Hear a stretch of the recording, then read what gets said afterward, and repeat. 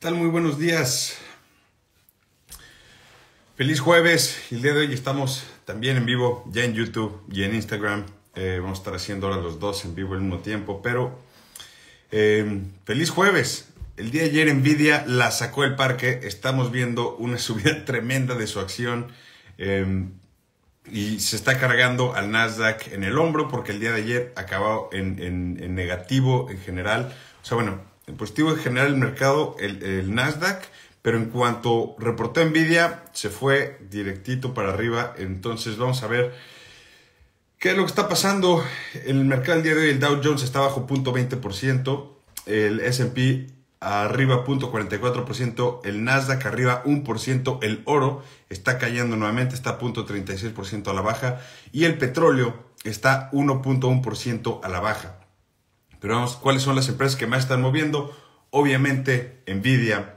Eh, estamos viendo Nvidia está arriba 7% después de reportar ingresos completamente eh, por encima de lo que se está esperando.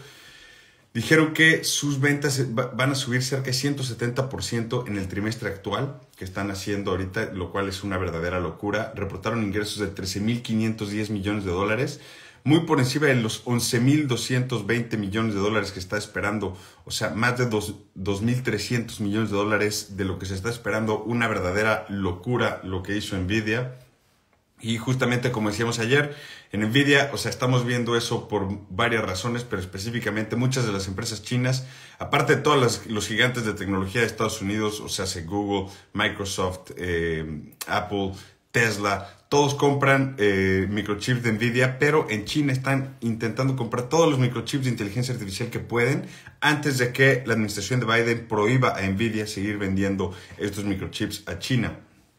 Después también se llevó a todos, ahora sí que al hombro, porque Taiwan Semiconductors, AMD y Marvel Technology, todos los eh, semiconductores que tienen cierta eh, liga, digamos, a la inteligencia artificial, están arriba 2.3%, 4.2%, 3.1% respectivamente, igual que eh, Broadcom y Super Microcomputing también 3.4 y 8.5% respectivamente. Una locura lo que está haciendo Nvidia para el mercado y realmente la burbuja de la inteligencia artificial no es tanto una burbuja, sino la euforia de la inteligencia artificial va con todo. Después Boeing.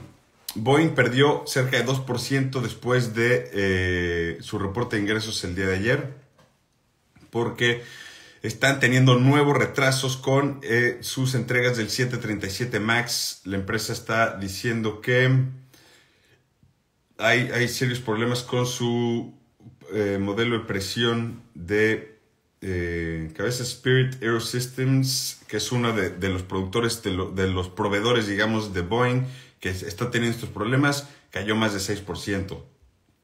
Después Splunk Splunk está arriba 13.6% después de reportar ingresos por encima de lo que está esperado. Ingresos de 910 millones de dólares, em, muy por encima de 889 millones de lo que está esperando.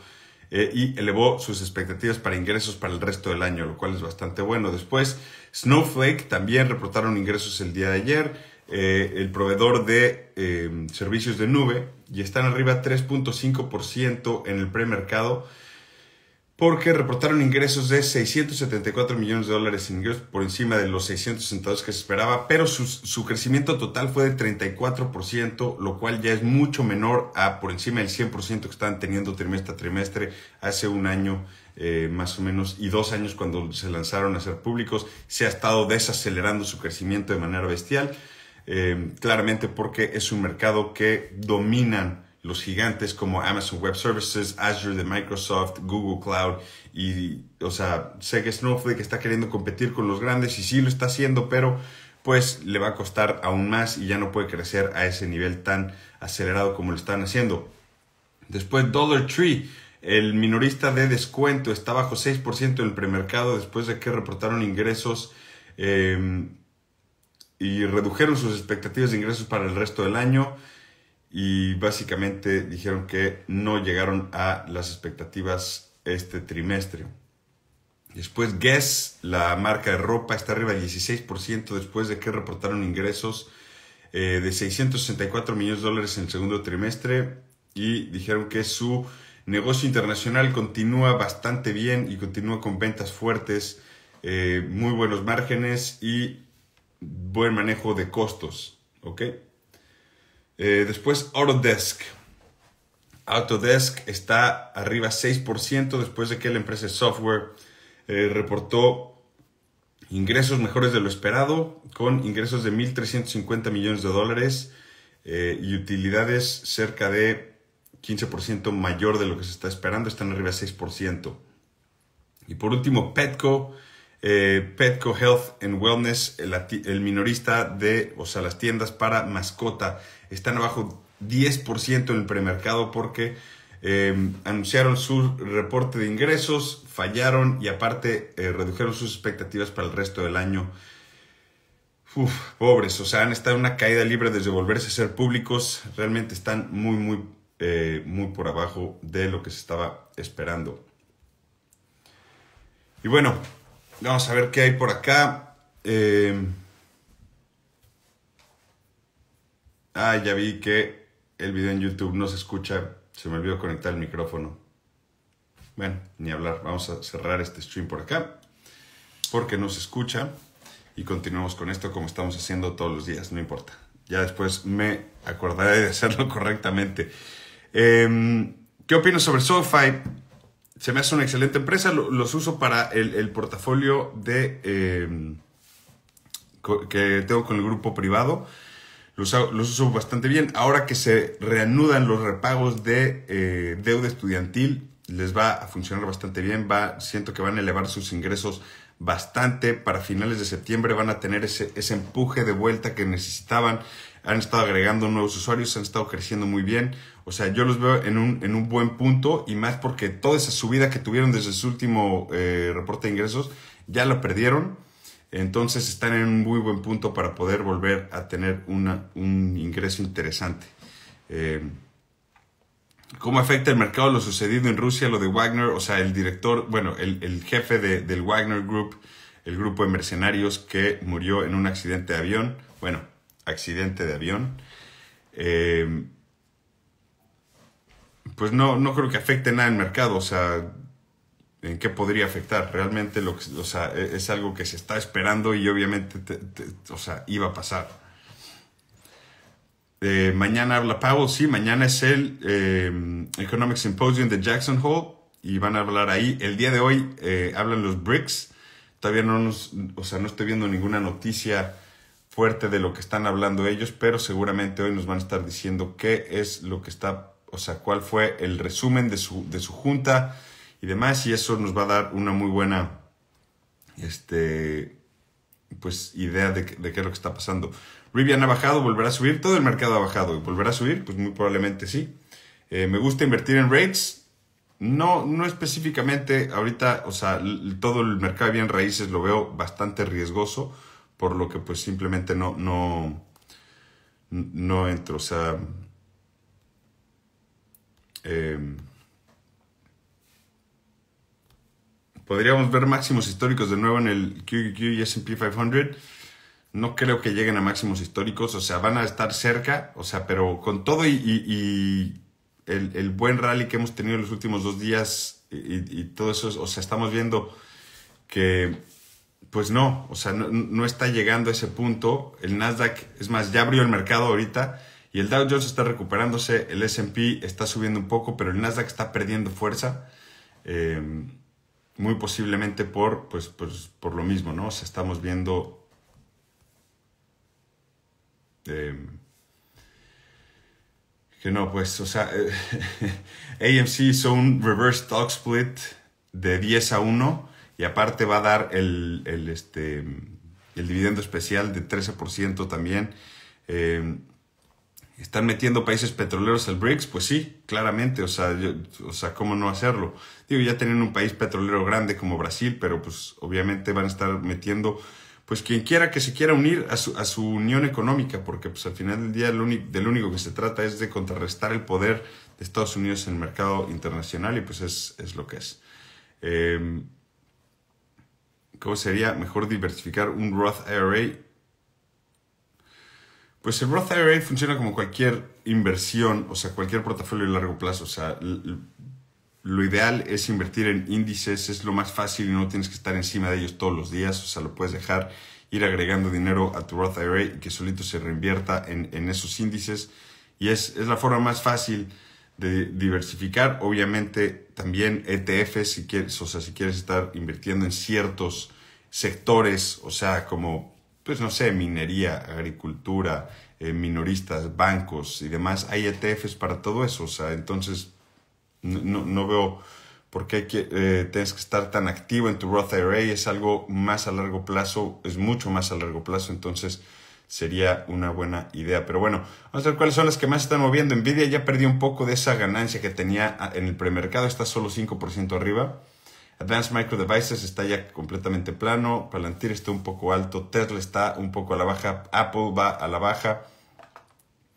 Vamos a ver quién sigue subiendo. Eh, pues Plunk nada más, que hablamos de ellos en el premercado. Xpeng continúa su subida 4% arriba. Eh, y a la baja estamos viendo eh, Dollar Tree 8.3% a la baja. Spirit Aerosystem Holdings, que son eh, los proveedores de, de, Boeing, están abajo 11%. Burlington Stores, o sea, los abrigos y demás, las tiendas de abrigos, están abajo 5%. Y en tendencia estamos viendo a Pelotón está bastante plano. Nvidia 5% arriba. Nike está 0.19% abajo. Oracle 1% arriba. Snowflake 1% arriba nada más. Eh, ok.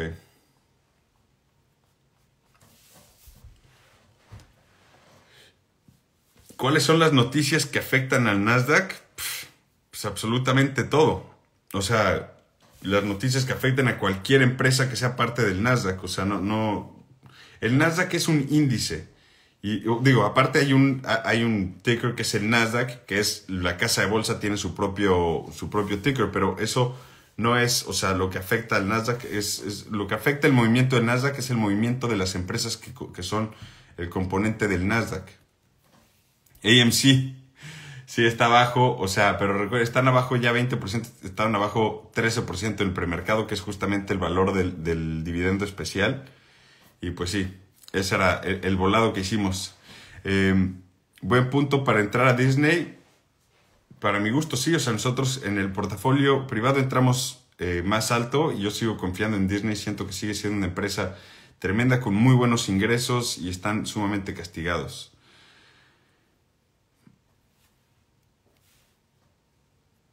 Eh, AMC realizó un desdoblamiento de acciones, eso es bueno o malo, o sea, lo que hicieron es un reverse stock split, este sí, e, es, es un, una división en reversa, básicamente de 10 a 1, cada 10 acciones te, representan una ahora, y esto es para elevar el precio de su acción, eh, van a hacer un dividendo especial y porque están absorbiendo todas las acciones de Ape para quedarse básicamente con el mismo número de acciones que tenían circulantes. Em, ¿En qué se diferencia el SP 500, el Nasdaq y el Dow Jones? Son índices distintos. El SP 500 son, o sea, e, es el índice de, 500 empresas que el Standard Poor's eh, incluye. Hay varios eh, requerimientos para entrar a ese, a ese índice.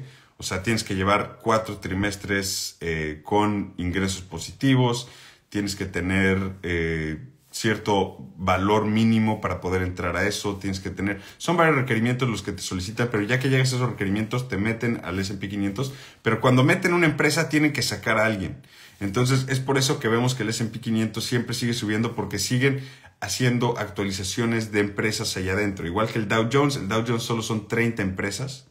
Entonces esas 30 empresas son las que está, o sea, llevan básicamente eh, e, ese índice y también tienen sus propios requerimientos, eh, hacen sus ciertas, este, su, escogen cuáles son, cuál es el peso que van a tener dentro del índice y demás. Pero el Dow Jones es más industrial, o sea, tiene más empresas de energía, tiene algunas empresas de tecnología, o sea, claramente está Apple, o sea, pero hay, eh, eh, es, es, distinto, son solo 30 empresas. Y el Nasdaq, hay varios de Nasdaq, el, QQQ creo que son el, el Nasdaq 500, pero también está el Nasdaq 100 que son las 100 empresas más grandes de la casa de bolsa Nasdaq.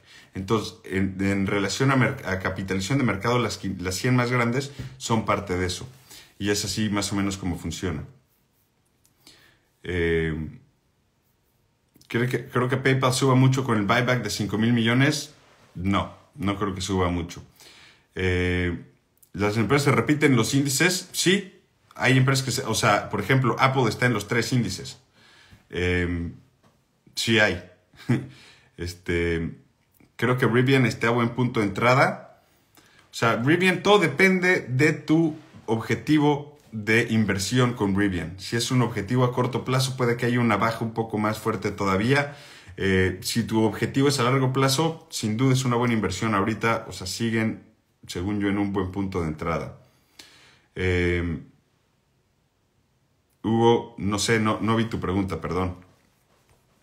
Eh, ¿Qué opino sobre la reunión de los BRICS? Estoy muy curioso, quiero ver qué es lo que dijeron. O sea, al final del día no estoy viendo ningún resumen de lo que dijeron los BRICS. Vamos a ver rápido si hay algo. Em,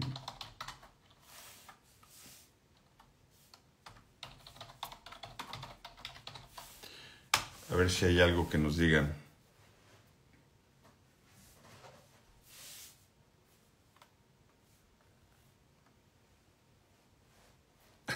Así es, Andrés.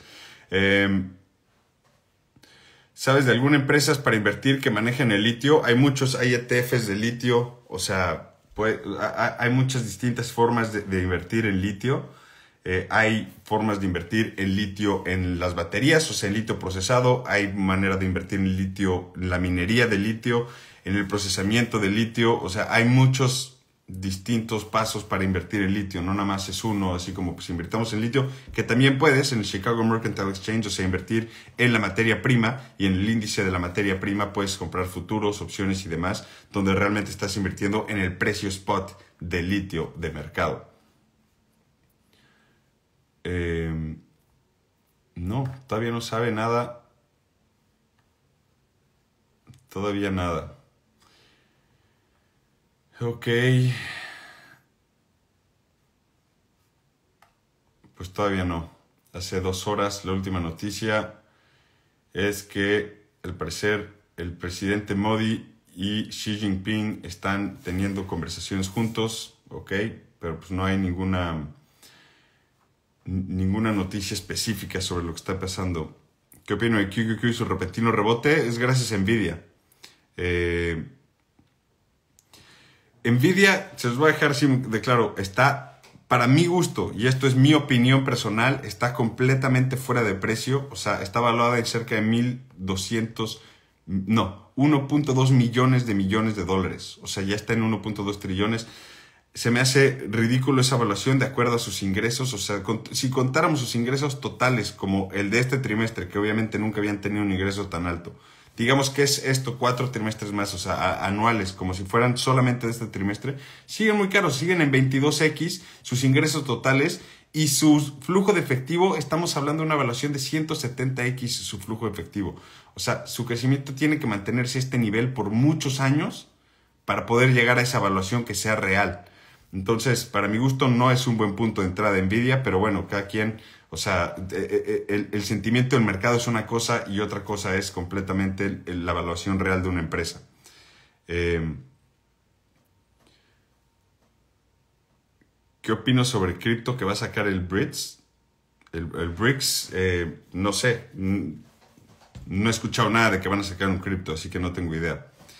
Em, ¿Qué opino de empresas tan castigadas como Intel y Disney? Me encanta Disney, Intel tiene un panorama un poco más difícil, tiene que hacer muchas cosas para poder llegar a esa, eh, a, mejorar sus márgenes de rentabilidad, a superar esos, esas, o sea, básicamente tienes que esperar a que empiecen a dar resultados todas sus inversiones en nuevas plantas de procesamiento, en nuevas, eh, eh, en nuevas plantas de producción y demás, y pues bueno, eso es lo que es. Y bueno, señores, con eso los voy a dejar. Eh, que tengan un excelente jueves. Vamos a ver nada más en qué cierran los mercados. El Nasdaq ya perdió completamente fuerza, está a punto 23% arriba nada más. El S&P punto 18 y el Dow Jones punto 0.4% a la alza. Eh, vamos a ver en qué acaba el mercado. Y bueno, que tengan un excelente día. Nos vemos mañana. Cuídense mucho. Gracias por estar por acá. Chao.